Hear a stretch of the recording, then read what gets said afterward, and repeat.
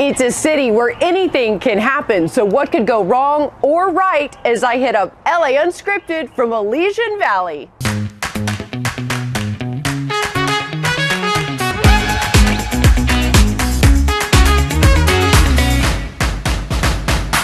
Cafes and concerts, bike paths and bars, set alongside a two and a half mile stretch of the LA River, nestled between the two and the five freeways, there is a hidden gem of a neighborhood.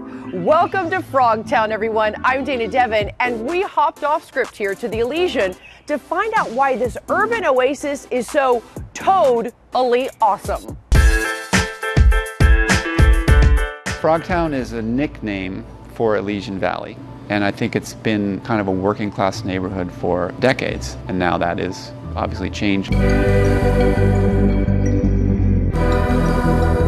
When we first moved to Elysian Valley, we moved here in 2002. My wife and I were looking for a house and decided we didn't want to live in a house, so we started looking at buildings like this. What was it before? It was a small manufacturing facility that made resin molds for porcelain products. We're standing in what used to be a parking lot. Oh, in 2002, so this was a parking lot, and we Wow. tore out the asphalt, planted all this bamboo and the sycamore. We had been using the space as living and studio space uh, for film and photographic works, and we moved out. Thought, well, we can do private events here. We've done some leadership workshop things here, film production, television production, shoots, baby showers, bar mitzvahs. My wife and runs an organization called Clock Shop. It's an arts production, arts organization, and they've used the space in the past for a music series. Clock Shop is an arts organization that I founded with the mission to bring arts and culture to public space in Los Angeles. So we use this space to do events, um, conversations, um, often inviting artists to talk with people in other fields where their interests intersect. We have a full commercial kitchen, we have a full bar, and then a number of smaller areas that are divided with panel walls. Um, and those are seating areas or lounge areas, or they can actually be emptied out and configured. It's kind of like a blank canvas. You really could make this into anything you wanted it to be. Yeah, That's a hidden gem. I would say if your party or what you have in mind is, is at the scale that we want to accommodate at this point, then come check it out. Something else to croak about? I have been told there aren't even any frogs here. So, how did this niche neighborhood get its moniker? Jumping on over to Liberty Chan to tackle that.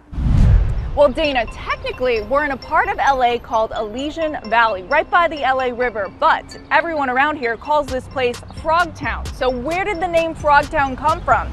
Apparently, according to local legend, back in the day, we're talking 1930s and 40s, there would be heavy rains. After the rains, there would be a ton of toads and frogs that would come out of the LA River and invade this town. Hence the name Frogtown. I kind of like it. Great amphibian info, Lib. Maybe we should call you Amphib Lib. Okay, but do you know why frogs are so happy? Because they eat whatever bugs them. I'll be here all week. All right, and you know who never bugs and is always riveting? Our Jasmine Simpkins. Let's see what she's hopped up on today. Okay, Dana, while you guys are exploring Frogtown, I'm getting a jump start on my holiday shopping because finding a gift for Mama Simpkins is going to take a leap of faith and a whole lot of sparkle. Welcome to Macy's at South Coast Plaza. I am looking for something really special for my mom, and she loves diamonds. Of course, who doesn't? So, Portfolio by De Beers Forevermark is a brand new line of diamond jewelry that's chic, it's trendy, it's accessible, and it's truly perfect for life's everyday moments. We have rings and stackable rings and bracelets and necklaces. So, what is she? What is the ideal gift for her? Oh, she likes it all. De Beers has more than 130 years of diamond expertise and really individually selects diamonds that are beautiful, rare, and responsibly sourced to become De Beers Forevermark. Look how amazing that, That looks is on you. pretty. Varieties come in all shapes and sizes, and that means there is something for everyone's budget. Um, this is a collection that's truly accessible and really perfect for everyday style. You never can have too much bling. Never. know? Diamonds are a girl's best friend. They really are. Oh my gosh. Less than 1% of all the world's natural diamonds are even eligible to become De Beers Forevermark. So you can truly see the difference in the sparkle and the beauty of a De Beers Forevermark diamond. You'll find jewelry to either gift yourself or a loved one, and even some beautiful diamond engagement rings and wedding bands to express that ultimate gift of love. Oh yeah. One for Mama Simpkins, one for Jasmine. And don't forget the earrings. Adriana, you're gonna take my whole paycheck. The collection is available exclusively in 14 karat gold, but you can find it in a variety of colors from white gold to yellow gold to rose gold to really mix and match. So I think I'm gonna take one of everything. Okay, all right. And we'll just charge it to LA Unscripted. I'll take that credit card now. Okay. And from ice on your wrist to a slice you can't resist. Check out this Santa Monica pizzeria with glitter pies. It's really just a fun thing that we do. Great for kids' parties, great for Pride Month. We've just been having a blast doing it for about four or five years now. The glitter is totally edible, FDA approved. It's made for human consumption. Dagwood's Pizza is just the most loved mom and pop pizza shop around. We've got some really fun pizzas that you're not gonna find anywhere else. We've got a Korean barbecue pizza, of course, the magical unicorn pizza. They're so sparkly. They're precious. Pizza and Wait, rainbow. we're just gonna stare at it? We're super psyched to celebrate the one year anniversary of LA Unscripted. We were one of the first companies to appear on the show, and we are really happy to be back and celebrate with some awesome magical pizza with you guys. Dagwood's been around for approximately 20 years. Dagwoods for a long time has placed a big emphasis on our community. We have always felt that we've got to give back to the people that come in and give to us every day. We have give back nights almost every Tuesday of every month where a certain percentage of whatever uh, money is made will go back to the schools. We donate all of our leftover food to the homeless shelters in the area. We've got gluten-free options. We've got plenty of sandwich options, salad options, pasta options. We kind of run the full gamut of Italian food and it is all super good. Seriously, try the lasagna. It is one of the most underrated lasagnas in Los Angeles. We have a great time doing what we do and we love every day of work.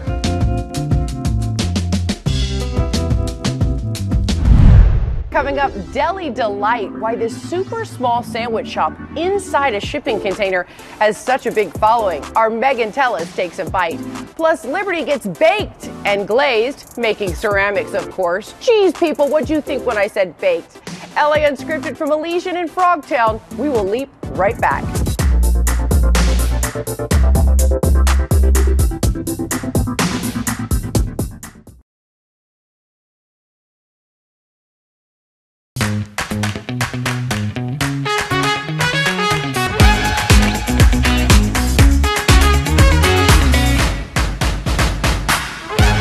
Southeast of Silver Lake, there's a progressive pocket community that's two and a half miles of hipster cool. Welcome back to LA Unscripted from the Elysian in Frogtown. I'm Dana Devon. At about 17,000 Angelenos kissed a lot of frogs to call this prince of a place home. Does that even make sense? Probably not. But anyway, Elysian Park means playground of the angels, and fun is exactly what happens here. Well, the space is, is um, very flexible, and when you come into the property, you're coming into this 5,000 square foot exterior space. We've done everything from you know large, larger scale weddings to small things, and now we're a seated dinner for 30 people, like if you're turning 40, and then the cocktail type of party for 50 to 75 people. Also heating up just down the street, Cobalt and Clay. Lib getting her hands dirty for this one.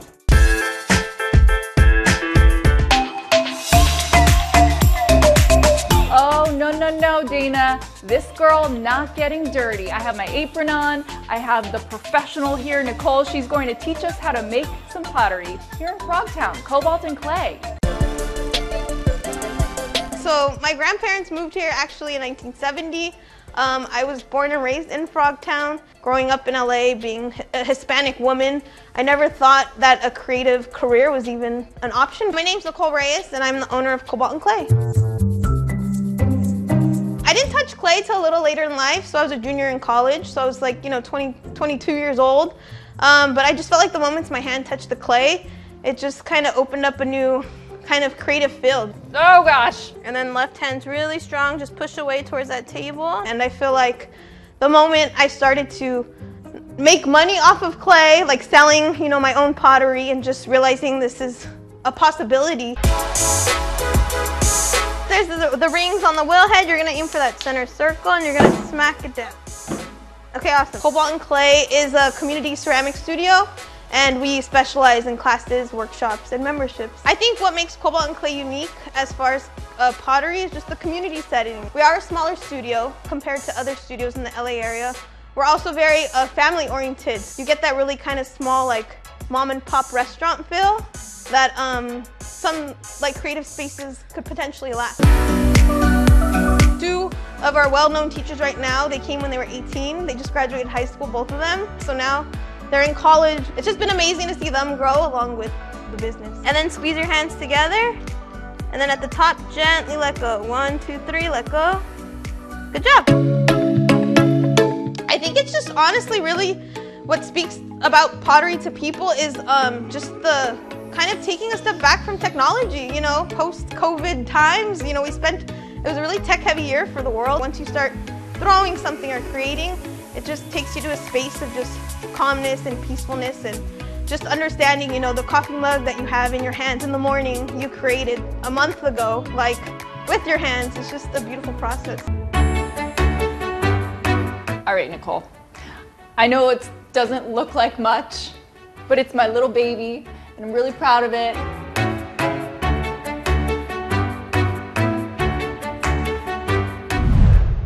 Thank you, Lib. Okay, so what would a stylish frog wear for a visit here? A jumpsuit, of course. Kill myself. All right, stock up because the neighborhood is expecting a lot more house hunters to hop on the Frogtown bandwagon. Megan Tellis is here with the rise to urbanize. Okay, Dana, I have my high heels on, but I am coming up here. I am falling in love with Frogtown. Take a look at this. This is a cool bicycle cafe. It is called Spoke. You can rent bikes, you can eat some grub, hang out with friends. And then, okay, looking both ways, crossing the road here, and you have the oh so famous LA River, where a lot of cool things like going kayaking can go down in the water right there. And did you know that each and every year there is an art show? Now, after COVID, it's going to happen every other year. It's free, it's open to the public, and it happens each and every fall. That's where we're coming, girlfriend. Those tadpole millennials and Gen Zers sure love those live work developments. All right, we have more cool coming up. The Tongue in Cheek Cafe serving up mile high sandwiches named after your favorite NPR hosts. Ira Glass, Hold the Sprouts. LA Unscripted from Frogtown will be back before you can ribbit.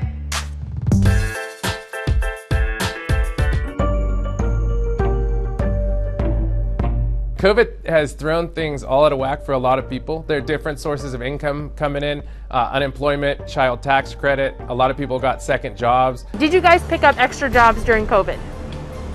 Okay.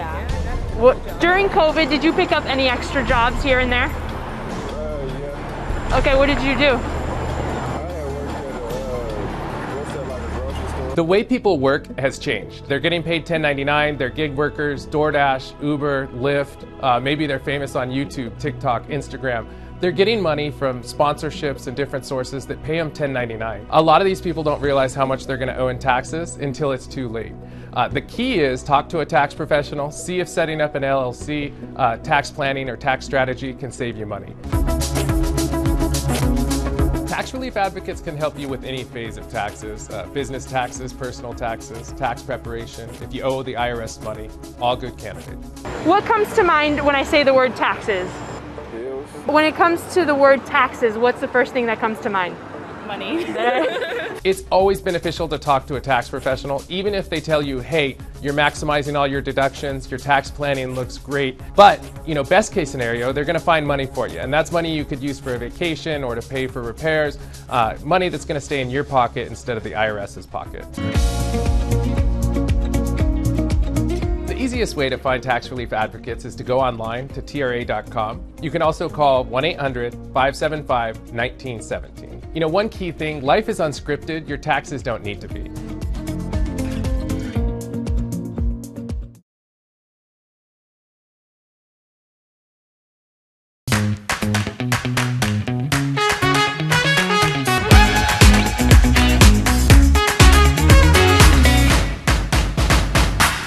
Straight out of Frogtown. There is a whole lot to do here, so let's check back in with Megan Tellis and see what's hopping with her. That's right, Dana. Right here in the heart of Frogtown on the corner of Blake and Knox, you have the adorable sandwich shop, which is in a shipping container. It is called Wax Paper, and I'm going to meet up with the owners. But first, knock, knock. Hi, welcome. Lauren and Peter Lemos, do they happen to be here? They are. The owners? Yes. Okay, let's meet them. It's amazing. It is not for everyone. There's just something about us as a team that works. We're really different people, which is like a huge benefit. I kind of start things and Peter kind of closes them or vice versa. We met working in a restaurant, so it was just kind of meant to be. So we started dating back in 2012, got engaged in 2013, and married in 2014. We started working on wax paper six to eight months after we got married. We're going to make a sandwich. I think I know how to make a good sandwich, but you're the pro, so we're going to do some turkey Yeah. and cheese today. Yeah, our Okay. Terry Gross, turkey, pepper jack, and a slaw. Then we have green chili aioli. Oh, I love an aioli. Wax paper was Peter's thought. He is a huge fan of music. We're both huge music fans. Records used to be made of wax, so that was kind of the part. But mainly, wax paper comes from the old school tradition of wrapping your sandwiches in wax paper. So that's a portion of turkey. So warm bread, very cold meat, which I Yeah. love. So this is the slaw. Working on the slaw here. The vibe is definitely community. We have a ton of local fare, local vendors. Um, our bread is baked just up the street, like literally up the street on Riverside. Bub and Grandma's. Also, our sesame rolls come from France Bakery, which is on Fletcher. We sell chips from Lavash Factory, which is right behind us. You can smell them baking their bread at four. The Krugermans, they're a pickle factory. They've been here for 50 years. We name all of our sandwiches after NPR hosts. You don't realize it, but the, the names are so iconic. The people are so iconic. And it's stuck. People, do they Yeah. get it when they come? People get it. Local, unique, niche, it's kind of something different. The sandwich is a classic thing, and it's our spin on it. So I love it that we have the soft Yeah. warm bread, the cold aioli, the Yeah. cool meat, and then a lot of crunch. Okay, toast. Yeah. Salud. Cheers. Take a bite. Oh my god. Okay, question for you. What do frogs do with paper? They ribbit. I love that. I think wax paper needs to add a dynamite. That would be my ultimate sandwich, and it would be basically Thanksgiving between two pieces of bread. Right? All right, I do not, however, think that is what Jessica Holmes is whipping up. Let's check it out. I love nachos, and I was thinking, what's a way to kind of come up with something where it's a little bit healthier and it has more veggies and different ingredients? And then I saw a recipe for Greek nachos, and I thought, okay, I can get down with Greek nachos. So let me start with the veggies. I'll cut up some green pepper. You dice it pretty small. Then from the green pepper, do a little onion. Now I'm gonna go bring these to the pan behind me. Now I'm gonna add the garlic two cloves. Now what I'm gonna do is I'm gonna take the veggies out. Okay, time for the lamb. Let's get it in. Add a little salt, some pepper, and then another thing I wanna add, which I really think is very Greek, obviously, oregano. So a good amount of oregano. Time to top the nachos. So our lamb is cooked, and I got pita chips, plain. They're they're not even salted. Man overboard. And we try to just get as much of it across the nachos. You don't want to waste any of the goodness, the onions, the peppers, the garlic, the pine nuts, and now to the cheese. For melting purposes, this is a Mexican style four cheese blend. Now you put them in the oven under the broiler just until the cheese melts, and then we're gonna top it with our veggies. One of my favorite Greek condiments is tzatziki. So the grating of the cucumber is the most time consuming thing with tzatziki. There's your cucumber. Put it on some paper towel or a towel, whatever, and then you wrap it up. Look at this. All of that would make your sauce watery. Get our bowl and we'll add the Greek yogurt, full fat, sour cream, a good dollop. Stir that around.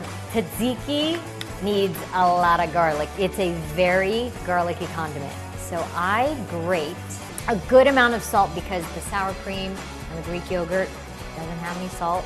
A good amount of lemon. And then this is where you really check the seasonings and say, oh, needs a little more garlic, needs a little more salt.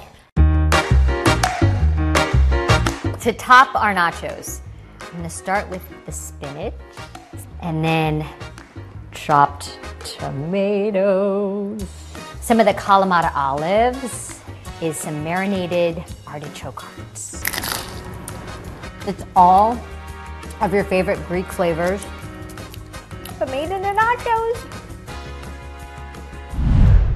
Hmm, I wonder how Jess would serve up some frog's legs. They taste like chicken. Sorry, Kermit. All right, that is it for us today from Frogtown. Thank you so much to the Elysian for letting us go off script at your amazing event space. They are taking bookings now. All right, where will LAU be next? We are hopping all over the place. You never know where we will pop up next. We'll see you next time. Mwah.